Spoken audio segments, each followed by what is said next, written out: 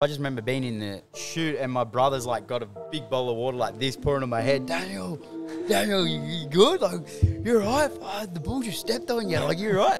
No matter what sport I did, I went 100% in it. I even did like bull riding. There was a rodeo coming up, went to watch it, and then it just started off with like a couple of drinks at dinner. Like, I was going to do it. This is a bet, and then and I was like, I, I can do it. Got all the stuff, had to go, did all right, and I was like, look up rodeo PR.